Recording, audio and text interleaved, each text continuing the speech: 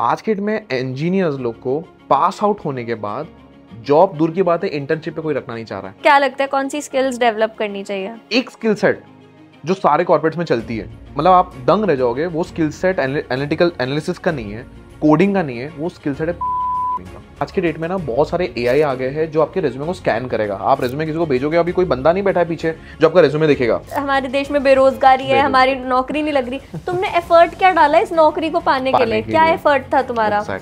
Businessman के life में real value add कर रहे होते यार।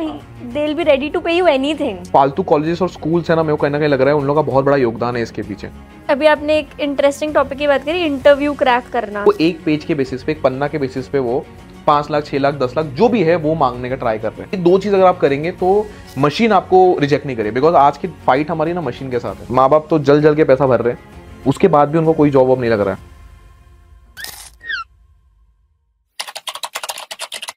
Hi Devan how are you welcome to reality hi hi Riya thank you so much आपने बुलाया उसके लिए. थैंक यू सो so, आज हम पूरा डिकोड करने वाले हैं हमारे एजुकेशन सिस्टम को। जॉब्स क्यों नहीं लग रही है? बेरोज़गारी इतनी ज़्यादा क्यों है? ऐसी कौन सी स्किल्स डेवलप करें कि जॉब लग जाए? और करंट सिचुएशन क्या है इंजीनियर्स की M B A post grades की? तो इस सब बारे में हम डिस्कस करेंगे। मुझे ये टॉपिक बहुत टाइम से बताना था अपने चैनल पे एंड जब मैंने इसके बारे में सोचा तो I thought you are the perfect person who can explain all of this so चलो चलते हैं सफ़र में। डेफिनेटली डेफिनेटली पूरा ट्राई करेंगे कि डिकोड कर पाए और इस वीडियो के बाद uh, हमारे ऑडियंस को परफेक्टली पता लग जाए कि क्या करे जिससे आमदनी बेसिकली सैलरी उनका बढ़ पाए या पैसे कमा पाए। नो अमेजिंग सो अभी आप मुझे बताओ क्या सिचुएशन है करंटली इंजीनियर्स की और एम की? क्या चल रहा है अभी? रिया जी, मैं आपको ये चीज़ बताऊँगा ना, आप मतलब चौक जाओगे ये सुन के। पहले पहले जब शुरुआती में ना, थोड़े अगर हम अर्ली टू थाउजेंड्स में जाए तो एक ट्रेंड था डॉक्टर और इंजीनियर्स का, कि हमारी बेटी, जैसे थ्री डेट्स में बोलता ना, हमारी बेटा हुआ तो इंजीनियर और बेटी हुई तो डॉक्टर फिर धीरे धीरे ट्रेंड आया एमबीए का। अब धीरे धीरे ए और ये सब आई गया, हम सब देख ही रहे हैं एमएल और ये सब आज गया मशीन लर्निंग ये सब। आज के डेट में इंजीनियर्स लोग को पास आउट होने के बाद जॉब दूर की बात है इंटर्नशिप पे कोई रखना नहीं चाह रहा है। अगर एक डेटा आई थी मेरे को ध्यान में नहीं एक डेटा के अनुसार 2017-18 में, तकरीबन साढ़े चौदह लाख सीट्स थे इंजीनियर में। और वही 2021 में आते आते 2021 में 33 परसेंट सीट्स वेकेंट है, यानी कॉलेज में सीट्स खाली खाली जा रही है। मेरे को मतलब मेरा भाई इंजीनियर है, तकरीबन 10-12 लाख रुपए डोनेशन उस टाइम लेके लोग अपने कॉलेज में बुलाते थे। अभी लोग बोल रहे कि डोनेशन मत दे भाई फ़ीस दे दे और आ जा, आके बैठ जा। सीट्स खाली जा रही है बिकॉज़ अब तो सबको पता लग गया इंजीनियर्स के पास स्कोप नहीं है। थ्री इडियट्स में जैसे उसने इंजीनियर करते करते फोटोग्राफी की थी ना पैशन था। अभी लोग की नीड हो गई कि इंजीनियर साथ में करते थे कुछ और कर लो वरना फिर हालत खराब हो जाएगी। बट ऐसा क्यों हुआ? इसका रूट कॉज क्या है? मेरे को लग रहा है कि इंडस्ट्री की जो डिमांड है और एडुकेशन जो पढ़ाई जा रही है ना उसमें कोई मिलजुल नहीं है कनेक्टिविटी नहीं है कुछ। अब फॉर एग्ज़ाम्पल मैं बाई प्रोफेशन आर्किटेक्ट डिज़ाइनर हूँ। अब मैंने ज़िंदगी भर अपने कॉलेज में शीट्स पे ड्राइंग बनाई। अब मैं जॉब पे गया वहाँ पे कंप्यूटर पे काम हो रहा। है अब मैं शीट्स पे इतने बड़े शीट्स में कैरी करता था। इंजीनियर लोग का भी वही हाल है। उन लोग थीसिस बना रहे हैं, उन लोग पढ़ाई कर रहे हैं लास्ट ईयर में सब कुछ काम कर रहे हैं अपना। बट एक्चुअल में जब जाएँगे तो वहाँ के उन लोग को ऑन ग्राउंड जैसे फॉर एग्ज़ाम्पल सिविल इंजीनियर्स की एग्ज़ाम्पल है वहाँ पे जो पढ़ाई हो रहा है, हर एक चीज़ कंप्यूटर पे हो रहा है। अब सिविल इंजीनियर को तो नीचे ज़मीन पे रह के काम करना है ना मतलब उसको कंस्ट्रक्शन फ़ील्ड पे जाके उसको नॉलेज ही नहीं रहती है। तो इंडस्ट्री का बहुत बड़ा एक गैप है। और इसमें सबसे बड़ी प्रॉब्लम है हमारे कॉलेज की। कॉलेज के जो हम फैकल्टीज हमको पढ़ाते हैं, उनकी सैलरी तीस चालीस हज़ार होती है। ऑब्वियसली कॉलेज को ब्लेम नहीं कर सकते। बट वो फैकल्टी हमें उतना ज्ञान नहीं दे पाएगा जिससे हम पैसे कमा पाए। तो जो फालतू कॉलेजेस और स्कूल्स है ना मेरे को कहीं ना कहीं लग रहा है उन लोगों का बहुत बड़ा योगदान है इसके पीछे।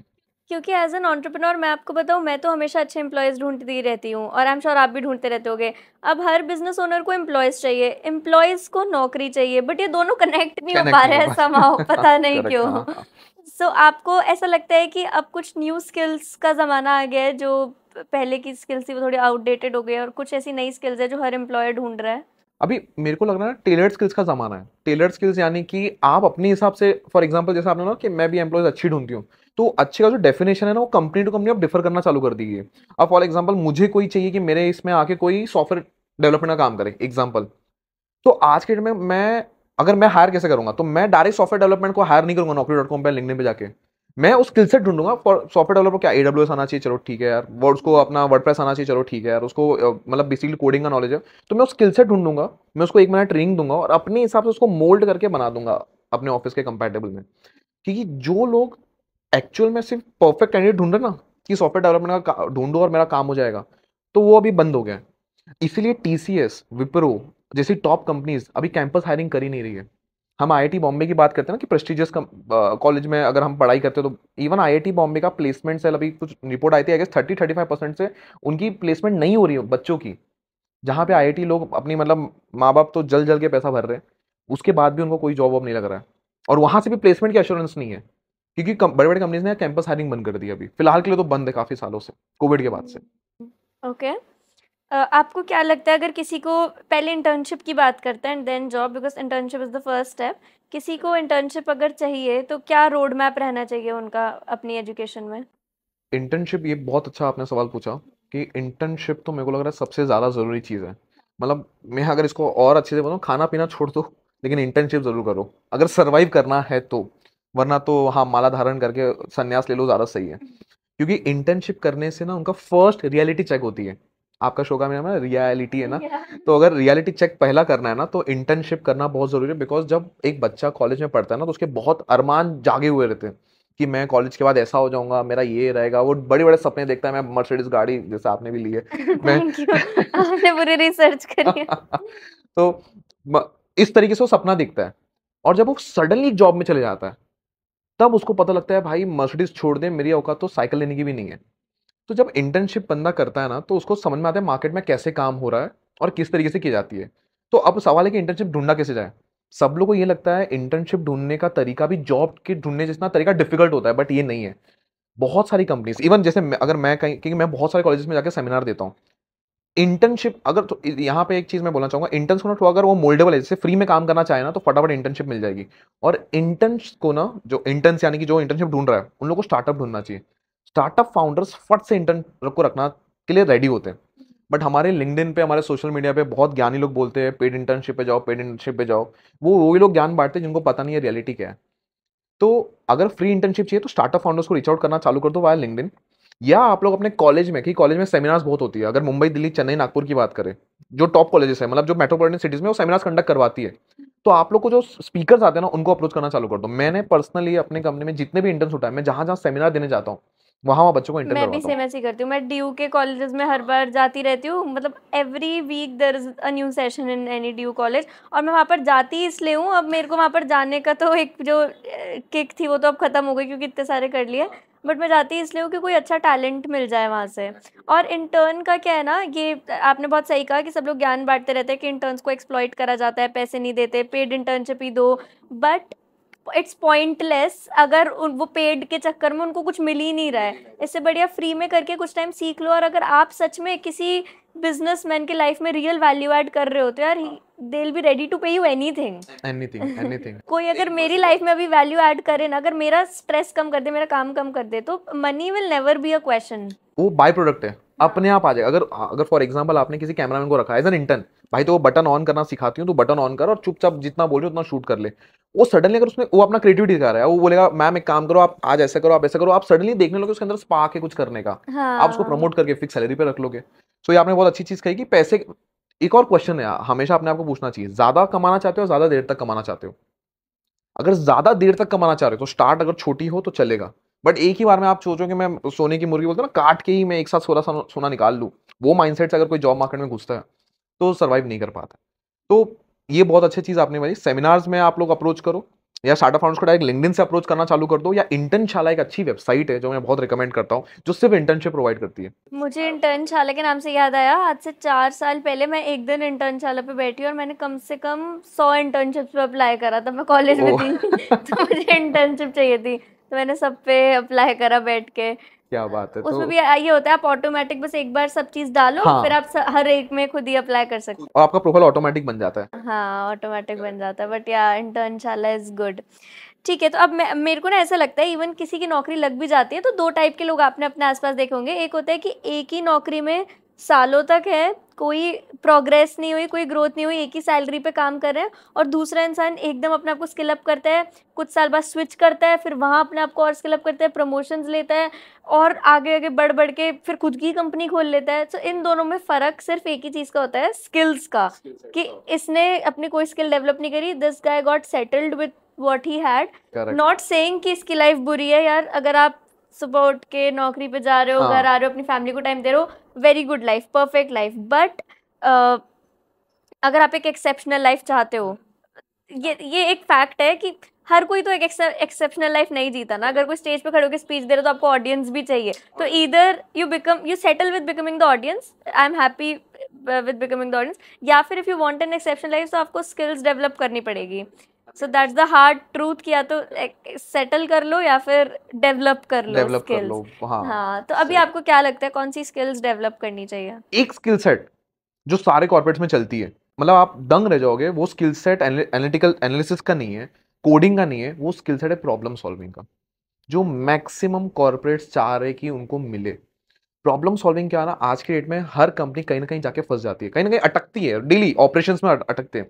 अगर बंदा नहीं सही रहा ना, और वो सिर्फ़ सर सर सर सर करके आगे पीछे घूमता रहा ना तो ऐसा किसी को, उन लोगों का प्रॉब्लम सॉल्विंग एटीट्यूड होना चाहिए बेसिकली कि वो उन लोग प्रॉब्लम को सॉल्व कर ले फटाफट, और उन अपने से इनिशिएटिव ले। तो problem solving by the way ये भी एक स्किल है, ये भी लर्न किया जा सकता है। तो प्रॉब्लम सॉल्विंग और लीडरशिप एक ऐसी स्किल है जो सीखनी ही सीखनी चाहिए, और उसके अलावा थोड़ा सा एनालिटिकल माइंड रहता है क्योंकि आज के डेट में कोई भी डिसीज़न बिना डेटा के जब जब लिया, अभी अपने मोटा भाई अंबानी तो बोलते बोलते थक गए data is new oil data is new oil but अब तक वो किसी ने समझा नहीं।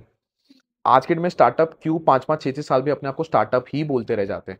एक फ्रीलांसर जो अपना खुद का काम कर रहा है खुद, आज भी वो बोलता है, मैं फ्रीलांसर ही हूँ।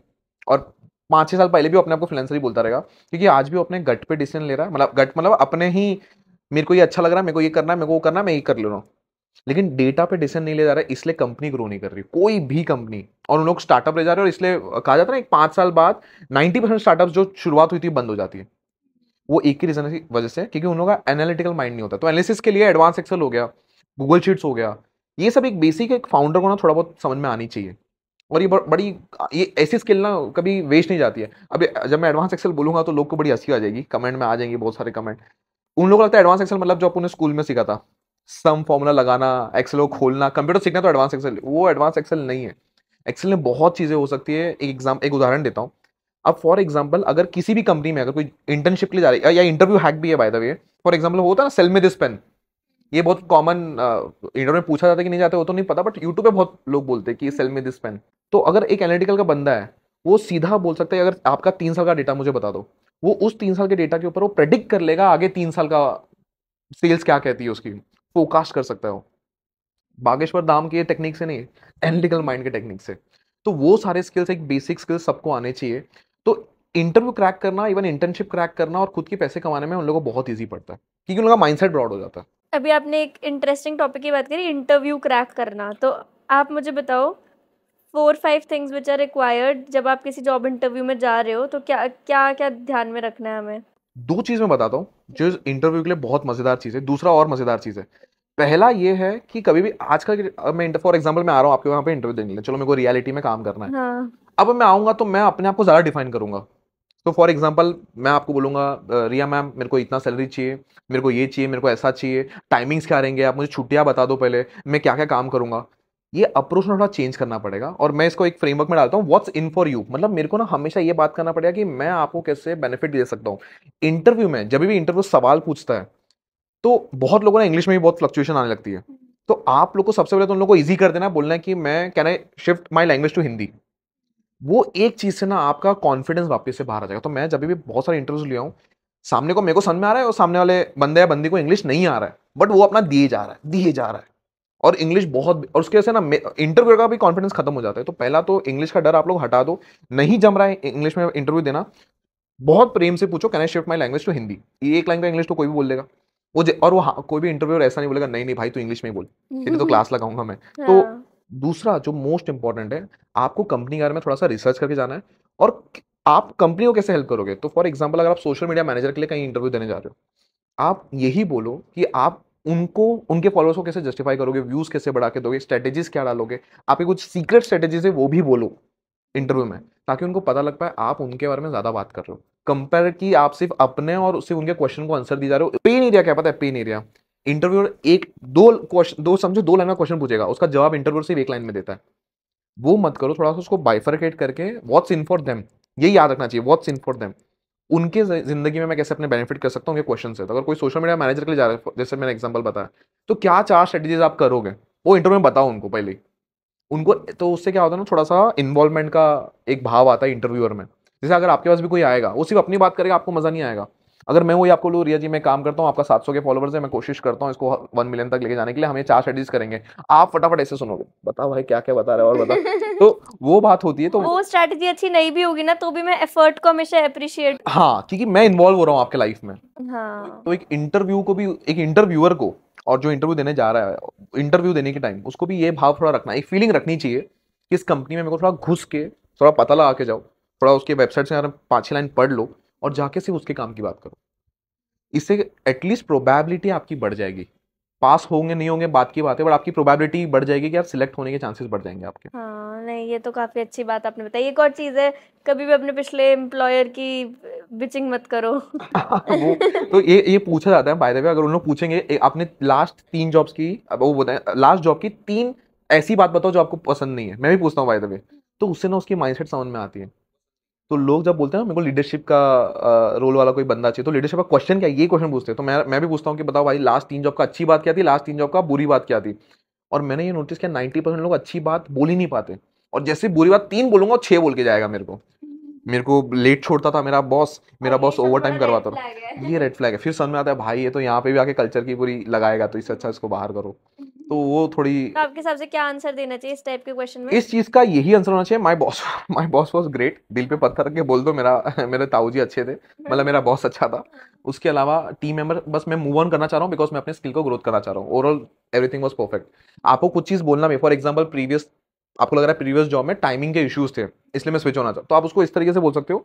बहुत अच्छा था बट क्योंकि मेरे पर्सनल लाइफ बहुत इंपैक्ट कर गई मैं बारह बारह दस घंटे बोल के मैं बारह घंटे तेरह घंटे काम कर रहा था। So that's the only that's the main reason कि मैं शिफ्ट भी कर रहा हूँ। तो थोड़ा उसको अच्छे से बोलो। बॉस की धुलाई मत करना चालू कर दो जो आप कर रहे हो। दोस्तों चाय टपरी पे करो ज़्यादा अच्छा लगेगा। लेकिन इंटरव्यू में मत कर दो। हाँ और मेरे ख्याल से एक और चीज़ होनी चाहिए कि आपको भी कुछ क्वेश्चंस प्रिपेयर करने चाहिए इंटरव्यूअर से पूछने के लिए। डेफिनेटली तो लास्ट में एक क्वेश्चन होता है ना कि अभी so we are done by my side is there any question तो उन लोग बोलते हैं नहीं सर सैलरी कितनी होगी? वो वो तो अवॉइड कर दो। लास्ट में आपको दो तीन क्वेश्चंस प्रिपेयर करने चाहिए कि आ, सर कंपनी तीन साल में कहाँ जाने लेके जा रहे हो? जैसे व्हाट्स इन फॉर देम जैसे अगर मैं आपको पूछूँगा या जी आप तीन साल बाद अपने अपने सोशल मीडिया को कहाँ लेके आप अपने कंपनी को कहाँ लेके जाना चाह रहे हो? तो आपको अच्छा लगे यार यार कोई ऐसा ओपन एंड क्वेश्चन पूछ रहा है जो मेरे ग्रोथ की बात हो रही है। तो ज़रूर कंपनी यार में तीन चार क्वेश्चन प्रिपेयर करना चाहिए। उनके विजन और मैक्सिमम कंपनीज़ के विजन और मिशन उनके वेबसाइट पे मिल जाते हैं। भले वो एआई से लिखा है चैट जीबीटी लिखा है, किससे भी लिखाया रहेगा बट उसके अराउंड दो तीन क्वेश्चन पूछ डालने का वहाँ पे जाके। तो उन लोग इन्वॉल्वमेंट जितना इन्वॉल्व हो गए ना आप, उतने चांसेस आपके इंटरव्यू क्रैक करने में बढ़ जाएँगे। और एक सवाल ऐसा होता है इंटरव्यू में, जिसमें जो पहले जवाब दे, वही फंस जाता है। हाँ कौन सा? सैलरी का। सैलरी का। लोग बोल रहे तो आपको क्या लगता है? मतलब किसको बताना चाहिए? इंटरव्यूअर को पहले बताना चाहिए रेंज या पहले इंटरव्यूई को अपना एक्सपेक्टेशंस बतानी चाहिए? मैं आपको एक मज़ेदार किस्सा सुनाता हूँ। हमारे एक स्टूडेंट थे विपिन ठीक है? विपिन का जो अभी जो उसका अभी का सैलरी बाद में बताता हूँ उसका जो पहले एक सैलरी था मारुति में काम करता था मारुति में उसका सैलरी था पच्चीस हज़ार रुपये महीने का पच्चीस हज़ार कमाता था। अब वो उसने एक इंटरव्यू क्रैक किया। अभी अभी नहीं मतलब एक साल पहले क्रैक किया। अब उसका सैलरी हो गया है लाख रुपए। अब वो महीने का लाख रुपए कमा रहा है। अब हमारे सबके दिमाग में क्या है कि पच्चीस मतलब जो भी पच्चीस हज़ार या जो जॉबलेस है, उनके दिमाग में एक चीज़ रहेगा कि पच्चीस से तीस जाएगा, तीस से पैंतीस जाएगा, पैंतीस से चालीस जाएगा। बट उसने पच्चीस से लाख रुपए का जम मारा। अभी वो बाय द वे वो बहुत बड़ी कंपनी में काम कर रहा है। मैं कंपनी का नाम नहीं ले पाऊँगा बिकॉज़ उन लोग का फिर में वो सैलरी का उन लोग डिस्क्लोज नहीं करते तो उसमें फंस सकता है। अभी by the way top MNC में काम कर रहा है। जर्मन बेस्ड कंपनी में काम कर रहा है। तो ये कैसे हो पाया? तो उसने पूरा इंटरव्यू क्रैक किया। उसके बाद उसको सैलरी पूछा जाता है कि, विपिन, बताओ आपका एक्सपेक्टेशन क्या है? क्वेश्चन ये होता है कि एक्सपेक्टेशन क्या है? अब क्यों, देखो, जो इंटरव्यू के लिए जब अप्लाई करता है ना, उसको पता रहता है पैकेज क्या देने वाली है। अगर वो अपना एक्सपेक्टेशन बोलता था तो क्या एक्सपेक्टेशन बोलता था? पच्चीस से पचास माँगता था। फॉर एग्ज़ाम्पल अगर मैं स्विच कर रहा हूँ तो मैं हंड्रेड परसेंट हाइक मांगूँगा। तो मैं बोलूँगा, मेरा एक्सपेक्टेशन है पचास हज़ार रुपये बट उसने क्या बोला? एज पर कंपनी टर्म्स अब क्योंकि उसने देखा था एज पर कंपनी टर्म्स ये पोजिशन के लिए दस लाख ही दी जाती है। तो जो एम है उन लोग का एज पर एक एक लॉ बना ही रहता है कि यार ये पोजिशन को हम इतना ही पैसा देते हैं। तो उसको सैलरी ऑफ़र हो गई दस लाख रुपए की। तो उसने फिर काउंटर किया, जब उसको ऑफ़र आया तो उसने बोला कि एज पर कंपनी टर्म इस कम इस पोजिशन के लिए तो बारह लाख मिलना चाहिए था। तो उसको फिर बारह लाख मिल गया। तो इस, इसका ये बहुत सरल आंसर ये होना चाहिए कि as per company terms as per company policy आप इस पोजिशन का कितना देते हो? ये एक अच्छा क्योंकि अगर आप छोटा भी सोचे गए रहोगे ना और पता चला वो कुछ ज़्यादा ही बढ़ा दे रहा है तो आपके लिए विन है। तो फॉर एग्ज़ाम्पल कोई बोलेगा कि सर अगर मैं पच्चीस हज़ार हूँ अगर वो बोलेगा एज पर कंपनी पॉलिसी में तो अठारह हज़ार दे रहा हूँ तो चुपचाप निकल लो। फिर तो अपना कोई काम का नहीं है ना। तो दोनों ही केस में बेनिफिट होता है। आप गंदे भी नहीं होते ज़्यादा पैसा मांग के क्योंकि ज़्यादा पैसा मांग लोगे। तो एज एन इंटरव्यूअर हमेशा पहले सामने से ही पूछती हूँ क्योंकि कभी कभी क्या होता है मुझे कोई हाँ। इंसान लग रहा है कि बहुत ही ज़्यादा एक्सीलेंट टैलेंट है ये तो। मैं सोच रही होती हूँ कि salary must be somewhere around एक डेढ़ लाख रुपए महीने की। वो मुँह खोलते चालीस पचास हज़ार तो मैं एकदम खुश हो जाती हूँ ठीक है ठीक है। भाई आ जा। तो ये यहाँ पे फंस जाते हैं हाँ लोग। बट ये ये सबके समझने वाली बात ये है कि मतलब ऐसे अपना पहले मत बताओ थोड़ा आइडिया लेके चलो कि ले औरों का क्या क्या? क्या उनके दिमाग में है। तो क्वेश्चन मेरे को एक चीज़ बहुत अच्छी एक जन ने सिखाई थी मेरे को कि जब भी कोई क्वेश्चन आपको पूछ रहा है ना आंसर देने के लिए बेताब मत रहो आस्क काउंटर क्वेश्चन तो अगर कोई पूछा आपकी सैलरी क्या है तो फट से आंसर मत दो पचास हज़ार चालीस हज़ार एक लाख रुपए। आप उसको और काउंटर क्वेश्चन करो। उससे ना आपकी कन्वर्शन बहुत अच्छी जाती है आपको और समझ में आती है सामने वाले की बात।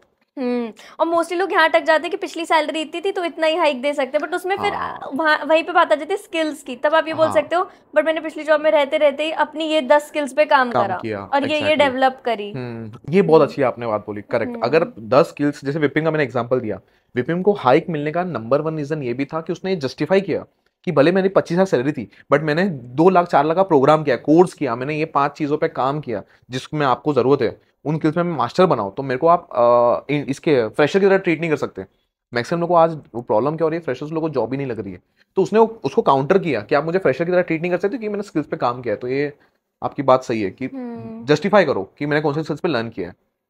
तो मतलब अभी तक जो हमारा इस पूरी कन्वर्सेशन का कंक्लूजन निकला है वो हाँ। ये है कि पहले तो कॉलेज में पढ़ाई के साथ साथ अगेन स्किल डेवलपमेंट पे ध्यान दो और चूज़ भी ऐसा कॉलेज ज़्यादा करो जहाँ पे प्रैक्टिकल एक्सपोजर ज़्यादा हो compare to. Theoretical knowledge then उसके बाद कहीं पर फ्री में भी इंटर्नशिप करनी पड़ रही है तो करो करो है ना? हंड्रेड परसेंट हंड्रेड परसेंट करो ऐसी इंटर्नशिप्स करो वहाँ से वहीं पे अच्छे रिज़ल्ट दोगे तो वहीं पे नौकरी मिल जाएगी।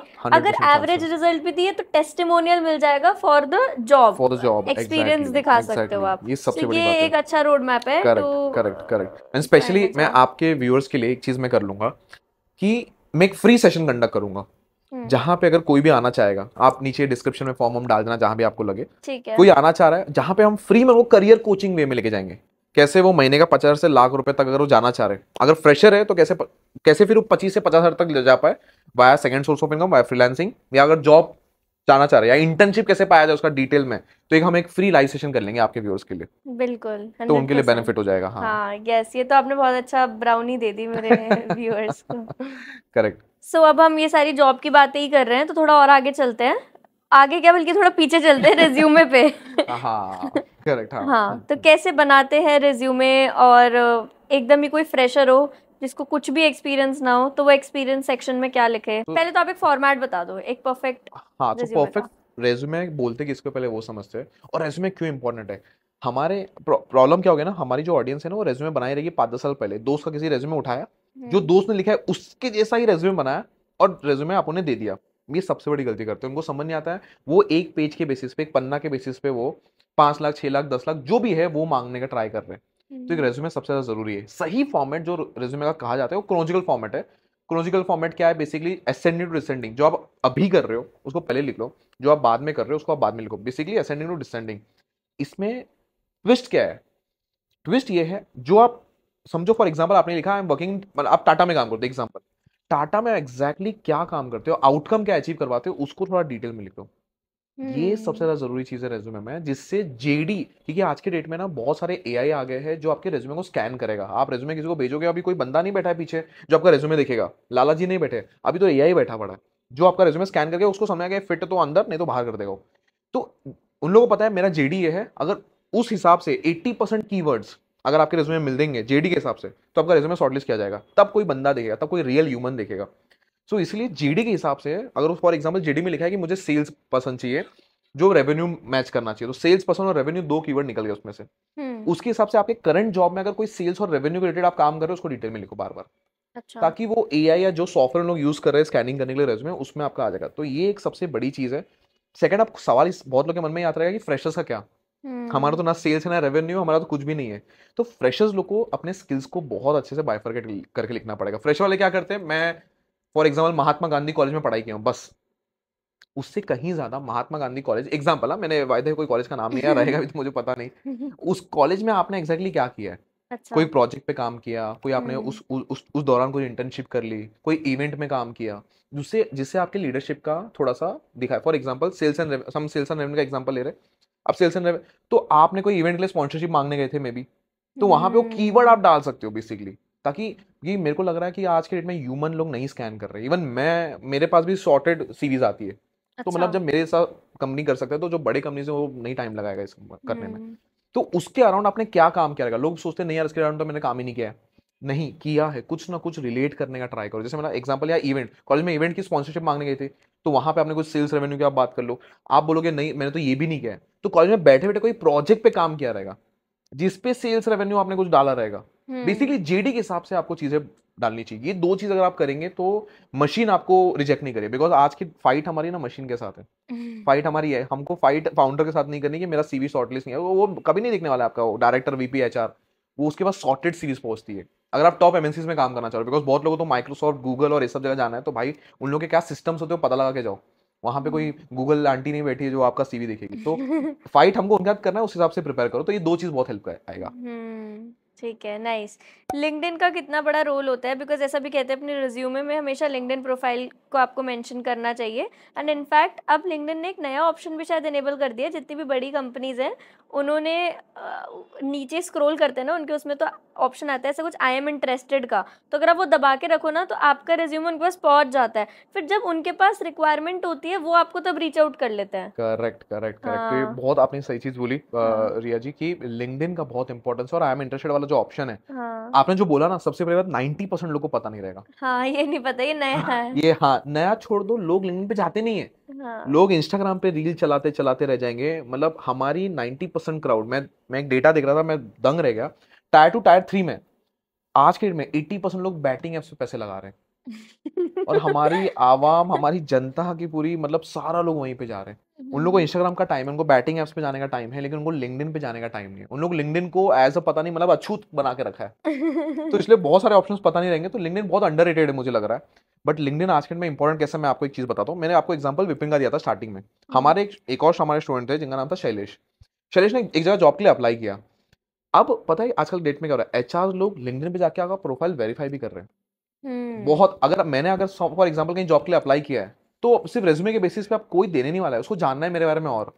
अब उसको ये भी नहीं चाहिए कि मैं फ़ोन करके पूछ लूँ वरना उसको थोड़ा उम्मीद लग जाएगी। बोलते हैं ना लड़की पहली बार किसी लड़के को फ़ोन कर दी खाली जानने के लिए तो उसको उम्मीद आ जाएगा कि यार लड़की मुझे पसंद करती है। तो कंपनी वाले भी फ़ोन करना नहीं चाह रहे क्योंकि उसको लग जाएगा भाई एक्सपेक्टेशन बढ़ जाएगी कि यार ये तो तो उन लोग क्या करते हैं? लिंक्डइन पे जाते हैं। हाँ। देखते हो हाँ किस टाइप के पोस्ट पे लाइक कर रहे हैं कमेंट कर रहे हैं बिकॉज़ लिंक्डइन ओपन प्लेटफॉर्म है ओपन यानी कि सब पता सब लग जाता पता लग जाता है एक ही बार में हम्म। लाइक कमेंट सब कुछ। हम्म तो मेरे को लगा लिंक्डइन पे जॉब प्रोफेशनल लोग को एक्टिव होना चाहिए। अगर और बाय द वे कोई फ्रेशर है कोई इंटर्न है कोई बोलता है सर मैं तो कॉलेज वाला हूँ मेरे को क्या काम है? भाई तू कॉलेज वाला है तो को तो पहले जाना चाहिए। क्योंकि आपके पास बहुत टाइम है लिंक्डइन पे थोड़ा सा एक्टिव होकर ब्रांड बनाने के लिए। मैं आपको एक इन्फ्लुएंसर एंगल भी बताती हूँ इस चीज़ हाँ. का मेरे हिसाब से लिंक्डइन एक हिडन जेम है इन ऑल हम्म। सेंस पहले कोई भी इवेंट होता था तो सारे इंस्टाग्रामर्स एंड यूट्यूबर्स आते थे बट हाँ अब जहाँ चार इंस्टाग्रामर्स चार यूट्यूबर्स आ रहे हैं वहाँ तो लिंक्डइन के लोगों को भी बुलाया जाता है। So recognition as an influencer आपको मिलती है। जो जिनके लिंक्डइन पे अच्छे फॉलोअर्स है लोग उन्हें पहचानते हैं जानते हैं सब चीज़ें। मतलब एक फेम एंगल तो लिंक्डइन के साथ है है। देन सेकेंडली लिंक्डइन पे ब्रांड डील्स भी आती है। सो अगर आप एक नॉर्मल कॉलेज स्टूडेंट हो और आप हम्म। बस लिंक्डइन पे पोस्ट कर रहे हो और आपके बीस तीस हज़ार फॉलोअर्स हो गए तो ब्रांड्स भी आपको पे करेंगे। Recently I promoted Flipkart I promoted Amazon I promoted Porter app मतलब ये सारे लिंकडिन पे ब्रांड प्रोमोज आए। हम्म। I have close to fifty thousand followers और वो इसलिए ही आए बिकॉज़ फॉलोअर्स रीच अच्छा था। तो you can get brand deals also on LinkedIn so अगर आप एक जॉब भी करो साथ में हम्म। ब्रांड डील भी करो तो लिंगडन एक अर्निंग अपॉर्चुनिटी भी है। Then you get connected to so many like minded people इतने ज़्यादा क्रीम लेयर से आप मिलते हो लिंक्डइन पे। LinkedIn even if you are a freelancer LinkedIn पे अगर आप रीच आउट करते हो तो रिवर्ट के चांसेस हाई होते हैं because LinkedIn is like a no bullshit platform correct correct correct वहाँ पे हाँ। टाइम पास नहीं होती। और दूसरी मज़ेदार बात क्या है? इन्फ्लुएंसर एंगल से बोलो या किस एंगल से बोलो लिंक्डइन की organic reach compare to Instagram और कंपेयर टू यूट्यूब बहुत ज़्यादा है। तो अगर हम्म कोई सोचता है ना जैसे फॉर एग्ज़ाम्पल कोई बोलता है मैं यूट्यूब चैनल चा, चा, चालू करना चाह रहा हूँ। उसको तो पहले तो पसीने छूट जाएँगे कि भाई यूट्यूब में कब तक मैं उस लेवल तक पहुंचूँगा कब तक इंस्टाग्राम पे उस लेवल तक पहुंचूँगा। बट लिंक्डइन पे वो बात नहीं बनती है। लिंक्डइन पे आपके फ़र्स्ट डे से आपकी पोस्ट को रिच मिलना चालू हो जाता है। लिंक्डइन का ऑर्गेनिक रिच कंपेयर टू बाकी सारे प्लेटफॉर्म बहुत ज़्यादा है। पे भीड़ कम है। सो अभी भीड़ कम है है तो this is the best time to to be active on LinkedIn exactly खाली एक्टिव रहना चालू कर देंगे लाइक कमेंट करना चालू कर देंगे लिंक्डइन पे तो हाँ। बहुत बात बनता है। तो एक एक स्टूडेंट को अपने लाइफ में लिंक्डइन पे एक्टिव पहले दिन से ही हो जाना चाहिए। आप फ़र्स्ट डे से कॉलेज से रह जाओ आपको जॉब में आपको इंटरव्यू में इंटर्नशिप पाने के लिए बहुत ज़्यादा हेल्प होगा। इसमें भी एक बहुत अच्छा हैक मैं बताती हूँ कि मैं किसी भी कॉलेज में सेशन देने जाती हूँ मैं इतने सारे बच्चों से मिलती हूँ मैं भूल हम्म। जाती हूँ किससे मिली क्या हुआ। करेक्ट करेक्ट ठीक है फिर अगला कॉलेज तो मैं, मैं मेरे को तो कुछ याद नहीं रहता। But hmm. वहीं पर अगर कोई बच्चा मेरे साथ फ़ोटो खींच के फ़ोटो हज़ार लोग खींचते हैं बट वो भूल जाते हैं उसके बाद वो फ़ोटो को कुछ नहीं उनकी गैलरी में पड़ गया। अरे हम्म उसको लिंक्डइन पे डालो पाँच लाइनें लिखो मैं भी पढ़ूँगी मेरे को कोई ऐसे क्लिक करा तो of course I plan to hire them in future right so वो भी बहुत अच्छा वर्क करता है। हाँ बेनिफिशियल ऑप्शन है करेक्ट करेक्ट हाँ नहीं लिंक्डइन इज़ एक्सट्रीमली गुड ठीक है जब हम जॉब्स वगैरह सब चीज़ की बात कर रहे हैं तो हमको एआई की बात भी डेफिनेटली करनी चाहिए बिकॉज़ कह रहे हैं AI is eating jobs correct correct correct सच है क्या ये? सो so, 90% तो सच है लेकिन हाँ आजकल बहुत सारी कंपनीज़ एआई के बहाने से भी निकाल रही है। निकाल रही है कुछ और रीजन से और नाम डाल रही डाल रही है एआई का। हम्म तो फॉर एग्जांपल अभी रिसेंटली अमेजोन ने तकरीबन सत्ताईस हज़ार लोग को फायर किया निकाल दिया। गूगल ने तीस हज़ार लोग को फायर किया। जॉब से निकाल दिया सीधा मतलब एक दिन आया लव लेटर आ गया लव लेटर मतलब बॉस ने डाल दिया ईमेल पे और सीधा बाहर कर दिया। हाँ। अब लोग सोच रहे हैं यार गूगल में मतलब क्या प्रॉफिट नहीं की क्या? लेकिन हम्म। वही गूगल तकरीबन साढ़े तीन चार लाख का प्रॉफिट रिपोर्ट किया हम्म। पिछले फाइनेंशियल ईयर में। साढ़े तीन लाख करोड़ का प्रॉफिट और वही हम्म। तीस हज़ार लोग को निकाल रही है। तो ए आई एक बहुत बड़ी चीज़ आ चुकी है।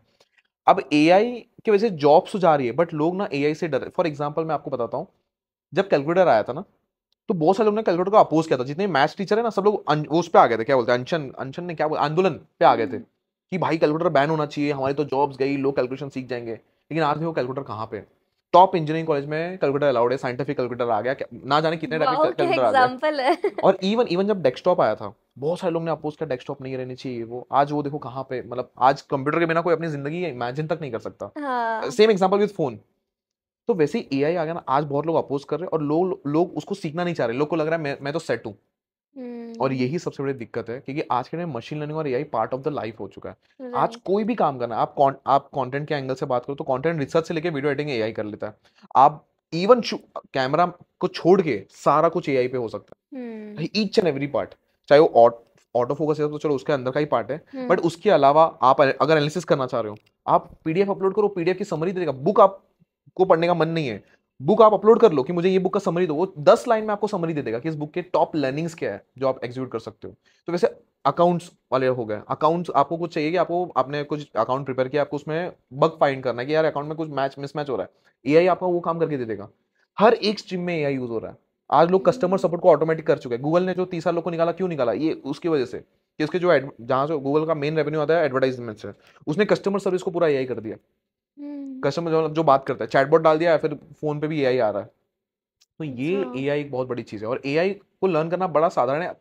थैंक्स टू चैट जीपीटी ऐसे नहीं एआई अभी आया एआई बहुत पहले से आया एआई का बूम अभी आ गया सडनली चैट जीपीटी की चैट वजह से। जीपीटी की वजह से बहुत हम्म बूम आ गया। तो चैट जीपीटी लोग सीखना चालू करेंगे। इवन हम भी चैट जीपीटी मतलब जो लोग आपका गोल फॉर्म भरेंगे जब अगर करियर कोचिंग में आ रहे हैं तो चैट जीपीटी का आसान हिंदी भाषा में दे देंगे हम। क्योंकि हम्म। एक बड़ी प्रॉब्लम क्या है? एक तो एआई ऊपर से इंग्लिश तो लोग क्या लगता है एक तो एआई भी समझ नहीं आता है मुझे और साला इंग्लिश भी समझ नहीं आती है मुझे। अब मैं कहीं भी प्लेटफॉर्म और एआई उडी में लोग बोलते हैं उडी में पे कर लो आप। अरे उडी में तो इंग्लिश में यार कोर्सेरा में भी इंग्लिश में तो उस बच्चे का क्या जो अपने भाषा में सीखना चाह रहा है जिसमें वो कंफर्टेबल और और और एआई सीखना चाह रहा है। तो हम्म अगर हम भी और इसलिए हम मतलब आपके अगर जो ऑडियंस है जो जो फॉर्म भरेंगे जो भी है नीचे तो उसके लिए हम उन लोग को उसमें चैट जीपीटी को कैसे यूज़ किया जाए अपने फ़ायदे के लिए इवन रेज्यूमे बनाने के लिए इंग्लिश लर्न करने के लिए या जॉब्स फाइंड आउट करने के लिए सारा कुछ आपका चैट जीपीटी कर लेगा। तो चैट जीपीटी बहुत अच्छा है मैं हम्म। आपको बताती हूँ मैंने दस दिन पहले हायरिंग डाली थी कि मुझे हम्म। स्क्रिप्ट राइटर चाहिए अपनी हाँ। स्क्रिप्ट्स के लिए ठीक है? और मैंने अपनी ईमेल आईडी डाल दी। हम्म। मेरे पास पाँच मिनट में कम से कम अस्सी से नब्बे ईमेल्स आ गई लोगों की। और सारी चैट जीपीटी वाली ईमेल जिसमें जैसे चैट जीपीटी लिख के देता है ना ब्रैकेट हाँ में कि हाँ यहाँ पे नाम लिखना वहाँ पे नाम भी नहीं लिखा हुआ बस copy paste copy copy paste paste मैंने फिर ऐसे स्टोरी बनाई एकदम गुस्से में कि देखो ये है मेरा मेल बॉक्स इतनी सारी ईमेल्स आई है और ये हम्म। सब क्या है चैट जीपीटी से कॉपी पेस्ट ईमेल। और फिर हाँ। तुम लोग कहते हो कि हमारे हमारे देश में बेरोजगारी है हमारी नौकरी नहीं लग रही। तुमने एफर्ट क्या डाला इस नौकरी को पाने पाने के लिए? के क्या एफर्ट था तुम्हारा? एग्जैक्टली कोई भी एफर्ट नहीं था। और मैं I am very serious when I am hiring so hiring क्योंकि मेरे को बहुत कम लोग चाहिए होते हैं कंटेंट टीम में स्पेशली बट बहुत स्किल्ड लोग चाहिए होते हैं। हैं। तो मैं मेरे को तो मैंने तो सोचा ही हुआ था जितने भी ईमेल जाएँगे सबको मैं ही सॉर्ट कर कर देखूँगी कि मुझे किससे हायर करना है। तो वो ईमेल आई तो हम्म। तब फिर मैंने स्टोरी बनाई डाटा वाटा सबको ये सब फिर ईमेल थोड़ी कम हुई। तो हाँ। Total when this process close तो कुछ हज़ार ईमेल्स थी तो पहले मैंने बस एक टीम मेंबर को बोला कि एटलीस्ट हज़ार में से मुझे 500 ठीक ठीक ईमेल्स दे हम्म। दो। फिर उन 500 को मैंने खुद सॉर्ट करा। फिर कुछ 250 ईमेल्स निकली। फिर उन क्या बात 250 है। ईमेल्स को हमने टास्क दिया। हम्म तो उन्होंने हम्म। फिर टास्क करा। फिर उन 250 लोगों में से शायद कुछ 50 लोगों ने टास्क करा और उन 50 लोगों में से मैंने दो लोगों को हायर करा। बट मुझे पता ही है, जो मैंने इतनी मेहनत करी है ना ये वो वो दो लोग एकदम ऐसे हीरे हैं हीरे लोग मतलब रहेंगे जो जो रहेंगे अपने साथ हाँ, सही बात है हाँ करेक्ट तो तो ये ये आपने ये अगर ये टिप भी कोई यूज़ करना चालू कर देना लोगों को जॉब लगने की प्रोबेबिलिटी बढ़ जाती है। हाँ मतलब हम्म अगर कोई देख रहे हो तुम किसी ने डाला है यार वो सच में हायर करना चाहते हो उन्होंने तभी डाला है। तभी डाला है। तो आप हम्म। प्लीज़ अप्लाई करो। लोग ना ये सोचते हम्म हैं अरे जैसे मैं बताऊँ नॉर्मल सी सोची होगी अरे सात लाख फॉलोअर्स है इतने लोग अप्लाई करेंगे हमें कौन पूछ रहा है? ये सबसे बड़ी चीज़ है करेक्ट और अगर है भी तो चलो चैट जीपीटी से कर देता हूँ। जल्दी जल्दी। जल्दी जल्दी हो जाए। Hmm hmm but hmm this is extremely wrong लोग ये सेम इवन कॉर्पोरेट में होता है टाटा में कितने लोग ने अप्लाई किया? रहेगा यार माइक्रोसॉफ्ट में कितना मैं कहाँ अप्लाई करने जाऊँ? उसको मन है अप्लाई करने का। बट यही आपने जो बोला वही रीजन कि को लगता है बहुत लोग रहेंगे मैं भी भीड़ में खो जाऊँगा। बट स्मार्ट वर्क मतलब गधों की तरह मेहनत नहीं करना। स्मार्ट वगैरह करे जैसे मैंने बताया एआई से अपना फाइट है। आप हाँ। अगर रेज्यूमे भेज रहे हो एआई के कंपेटेबल जो आपका कीवर्ड मैच कर लेगा तो प्रोबेबिलिटी बढ़ जाएगी आपकी। सो हम्म बहुत पॉइंट की बात वहीं पे अगर कोई चैट जीपीटी को स्मार्ट प्रॉम्प्ट देता ना मैं दिन भर चैट जीपीटी यूज़ करती हूँ खुद हम्म कुछ भी हम्म मुझे हम्म। चाहिए होता है ना पूरा वॉइस नोट रिकॉर्ड करती हूँ। हाँ। वो हर एक चीज़ हर every single detail I tell to ChatGPT कि ऐसे चाहिए ऐसे चाहिए। ये भी समझाओ कि क्या नहीं लिखना है। ये exactly, बिल्कुल मत लिखना। correct, और मैंने तो कुछ चैट जीपीटी के वर्ड्स भी फिगर आउट कर रखे कि ये वर्ड्स चैट जीपीटी नॉर्मली बहुत यूज़ करता है तो ये वर्ड्स नहीं हाँ यूज़ करने नहीं यूज़ वरना ये करने। चैट जीपीटी वाला लगेगा। लगेगा तो फिर वो भी वर्ड्स बता देती हूँ कि ये वर्ड्स बिल्कुल यूज़ मत करना। फिर जो आता है it's really a perfect output I would say और अगर जो मेरे को मेल्स भेज भी थे वो चैट जीपीटी से ही लिखवाते बट स्मार्टली लिखवाते तो the situation would have been different exactly बहुत सारे कॉलेजेस में इसलिए चैट जीपीटी बैन कर दी गई है। उन लोगों को समझ में आता है चैट जीपीटी का कंटेंट है। तो हाँ आपने जो बोला जैसे अगर कुछ वर्ड जो रिपीटेड है अगर उसको आप खाली हटा दो तो किसी को पकड़ में नहीं आया कि ये एआई का कंटेंट है ये चैट हाँ जीपीटी का कंटेंट है। डेफिनेटली हाँ because AI is very smart आप जैसे जितना अच्छा प्रॉम्प्ट दोगे वो उतना उतना अच्छा अच्छा चीज़ लिखेगा। हाँ हाँ। हम्म। मेरे को बड़ा मज़ा आया आपसे बात करने में और आई एम श्योर ऑडियंस के लिए भी बहुत इंसाइटफुल रहा होगा ये पूरा session I want you to just conclude this session by telling आपकी कंपनी क्या क्या करती है एंड कैसे कैसे करती है? सो आयरा स्किल्स बेसिकली हमारा जो फोकस रहता है पूरा वो लाइव लेक्चर्स पे होता है। आज है। के डेट में लोग को ना वीडियो से सीखना नहीं है। कि वीडियो से जो लोग सीखना चाह रहे हो यूट्यूब पे ऑलरेडी मेरे को लगता नहीं यूट्यूब पे कोई भी ऐसा कोई भी ऐसा टॉपिक पे वीडियो ना बनाया करे। हम्म। लोग को चाहिए पर्सनल इंटरेक्शन तो आयरा में हमारा एक ही फोकस होता है कैसे हम डेटा एनालिसिस एआई और मोस्ट इंपॉर्टेंटली कैसे ये स्किल्स को यूज़ करके पैसे कमाया जाए। हम्म। चाहे वो सैलरी में हाइक लेना हो जाए या फिर वो फ्रीलांसिंग करके एक side second source of income कमाना चाहे ये आउटकम कैसे अचीव कर पा पाए? तो ये अच्छा। सारा फोकस हमारा मोनेटाइजेशन पे रहता है। ये स्किल्स हम सिखाते हैं थ्रू लाइव लेक्चर्स और आयरा मेरे को लग रहा है इसीलिए शायद मतलब लोग बोलते हैं सीक्रेट क्या है? लोग बहुत लोग पूछते हैं कि यार तेरे सीक्रेट क्या है? कैसे तीन चार साल में मतलब ये पच्चीस हज़ार गूगल रिव्यूज़ हो गए हम तो मतलब हम्म। दस दस पंद्रह पंद्रह साल से लगे हमारे गूगल रिव्यूज़ होते ही नहीं है। तो सीक्रेट एक ही है कि मैं उन लोगों को उसमें हेल्प कर रहा हूँ जो उनका गोल है। फॉर एग्ज़ाम्पल जैसे मैं बात किया मोनेटाइजेशन सबका एक सिंगल गोल है मोनेटाइजेशन पैसे कैसे कमाएँ जो भी हम सीख रहे हैं। Right. तो हम उस पर बहुत ज़्यादा फोकस करते हैं लाइव लेक्चर्स पे बहुत ज़्यादा फोकस करते हैं और एडवांस एक्सेल हो गया पावर पॉइंट हो गया एनालिटिकल स्किल हो गया डेटा एनालिसिस हो गया डेटा साइंस हो गया एआई हो गया। इन चीज़ पे हम पूरा प्रोग्राम्स आप कराते कितने हैं। लोगों को ट्रेन कर चुके हो अब तक? अब तक दो लाख से ज़्यादा स्टूडेंट्स को हमने ट्रेनिंग दिया है। अच्छा एंड आपका टिकट प्राइस क्या है कोर्सेज हमारा टिकट प्राइस अब क्योंकि मेरे को भारत को टारगेट करना था मुझे चाहिए हम्म भारतीय लोग इसका पूरा फ़ायदा उठा पाए हिंदी प्रोग्राम का। तो मैंने हमारा टिकट है दो सौ रुपये से चालू होता है। ताकि लोग दो सौ में भी सीख पाए और ऑब्वियसली हायर पे भी जाता है। हमारे हम्म। प्रोग्राम से जो सात सौ और सत्तर हज़ार के भी जाते हैं। हम्म। बट हमारा मेन है कि जो 200 में सीखना चाह रहा है 200 में भी वो इतना अच्छा सीख पाए। अगर इम्प्लीमेंट कर दिया तो उस 200 रुपये भी उसकी लाइफ बदल देगा। हम्म। मोनेटाइजेशन से उसकी जॉब में एफिशिएंसी बढ़ जाएगी उसका प्रोडक्टिविटी बढ़ जाएगा। और सही में अगर वो ग्रैप कर ले तो इवन इंटरव्यू भी क्रैक कर पाते हैं उन लोग। तो हम्म 200 से चालू हो जाता है। प्लस आपके ऑडियंस के लिए मैं फ्री में कर रहा हूँ ये।